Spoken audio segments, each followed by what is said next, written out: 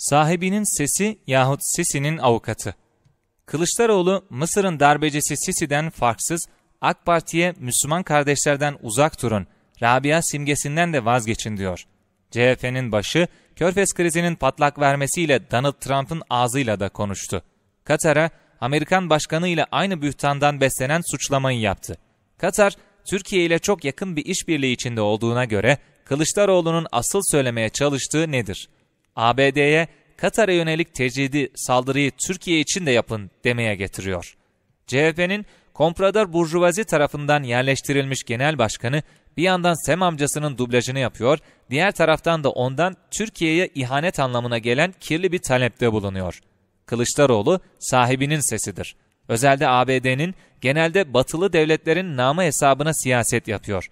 Türkiye'de de Mısır'da da darbeden yanadır.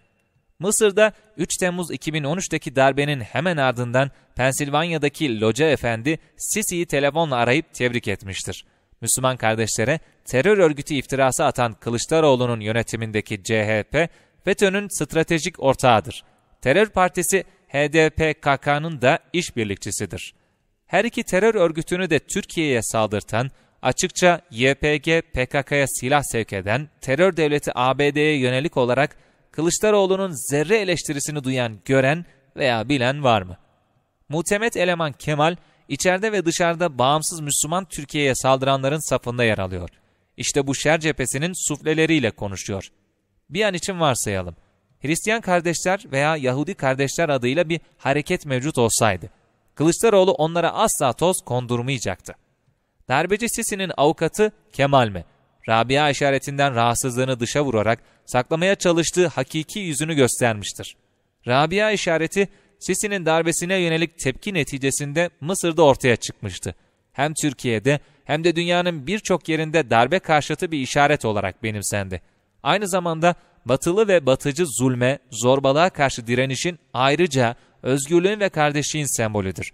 İşte bütün bunlardan dolayı Kılıçdaroğlu, Rabia işaretine karşı kinini kusmuştur.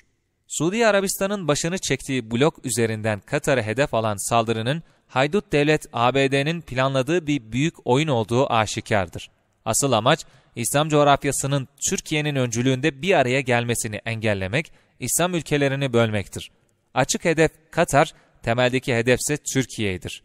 ABD, Türkiye'nin eski nüfus alanındaki açık yahut gizli tüm işbirlikçi unsurlarını seferber etmiştir. İslam düşmanı Donald Trump, Katar'ı abluka altına alan Körfez krizinin fitilini ateşlediklerini, ziyaretim işe yaradı diye konuşarak açığa vurmuş oldu. Kılıç dansının yapıldığı ve Kral Selman, Sisi ve Trump üçlüsünün küre önünde korku filmlerini andıracak şekilde fotoğraf çektirdiği Riyad zirvesi mi? 21 Mayıs'taydı. QNA'in web sitesinin hacklenmesi suretiyle Katar emirine yıkılan malum haberse 23 Mayıs'ta yayınlanmıştı.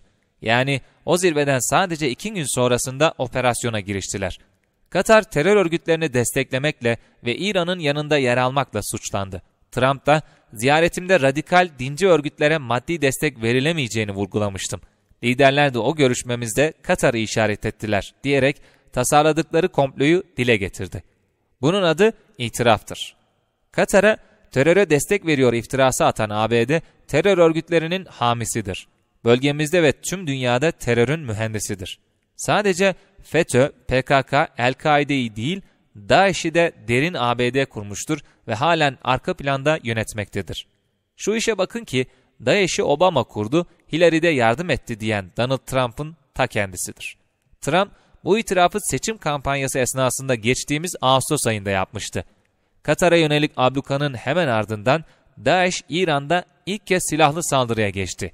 Hümeyni'nin türbesinde ve de meclis binasında kan döküldü. 12 kişi hayatını kaybetti.